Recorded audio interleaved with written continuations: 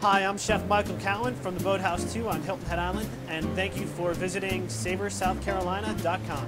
Today we are going to be preparing a pan-seared American red snapper with a sweet corn and potato hash and a roasted red pepper celery apple puree. What we're going to start with is the snapper. What we have here is a true American red snapper, which are caught right out here in the waters in front of Hilton Head Island. What you want to do is start from behind the gill. This is the fattiest part of the snapper. It's got the most amount of meat. The snapper skin is pretty tough, so I like to use a serrated knife to get through the skin and the flesh. Go about halfway through the fish, that's where you're going to find the majority of the bones. And then I'll use a boning knife to cut down the back of the snapper to start taking the fillet off. Once you get a nice cut down along the back, you're to cut along the tail again with the serrated knife. That way you get a nice clean cut once you're down to the bottom of the fillet.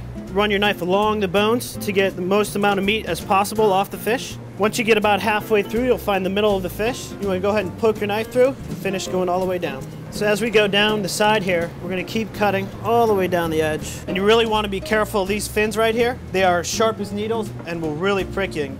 Again, when you're cutting up through here, there's a lot of bones right inside here.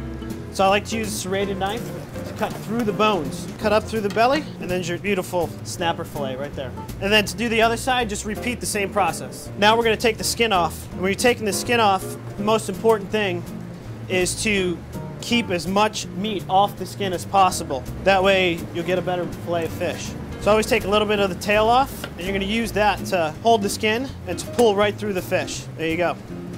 No meat left on the skin, and then this is just trash. Okay, next I'm gonna show you, we're gonna take the belly off. This part is inedible, so you just wanna cut around that. There is a lot of bones in this part of the fish, but you just wanna take your knife and cut right through them. Now that's just a really nice fillet of fish right there, very fresh. You can see how it's nice and firm. It's not too mushy. If it gets a little mushy, you know you, that you've got an old piece of fish. Now normally what I do is, this is called the bloodline right here. I'll just take my knife and I'll cut right down here through the bloodline. Then up here you're gonna have some bones. So we're gonna take that, take our knife, we're gonna cut these bones out. And this size filet, this will give us three or four portions of fish. I'm gonna show you how to prepare the pan-seared American red snapper. I always keep my saute pans in an oven so they're already hot. And when searing any kind of fish, normally I'll either use olive oil or butter and I always flour the fish into seasoned flour to keep it from sticking. You're gonna let the snapper sit for a little while and get a nice golden brown. We're gonna go ahead and flip this over. That's exactly what you want right there. That's gonna be nice and crispy. We're gonna finish this off in the oven for about two or three minutes. We're gonna start preparing the sweet corn hash. We'll also prepare the sauce to go with it. So our first step with our sweet corn hash is to have a nice hot pan. First we're gonna add a little bit of garlic butter. Saute that a little bit. And then we're gonna add our ingredients, half a cup of potatoes. And these are just some white potatoes that I small diced, tossed in a little bit of olive oil, some salt and pepper, and roasted in the oven. Put about a half a cup of the charred sweet yellow corn. And what I do is while it's still on the husk, I put it on the grill and get a nice black char on it. About a quarter cup of some sauteed white onions. Just saute until they're nice translucent. And about one cup of bacon. And this is some applewood smoked bacon which is chiffonade, which is a real small slice, and then I rendered it off in a saute pan, removing all of the fat. We're gonna let that saute just till it gets nice and warm. While that's going, we'll create our roasted red pepper, celery, and apple puree.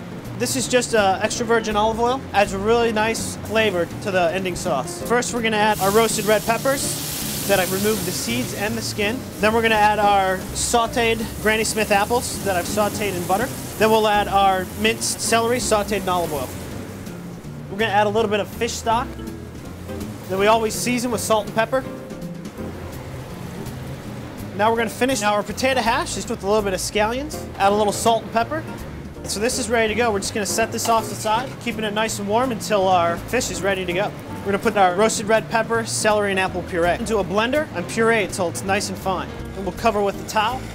Now, when I adjust the consistency, I'll either add a little bit more of the fish stock or sometimes just a little bit of olive oil, depending on how you like it. We're gonna plate our hash first. Snapper will go on top of that. And then our roasted red pepper puree. Nice to go right around the fish. And then sometimes you can garnish with a little bit of scallions. And then I always like to use a little bit of fried carrots. There you go. It's our pan-seared American red snapper with sweet corn potato hash and celery apple roasted red pepper puree.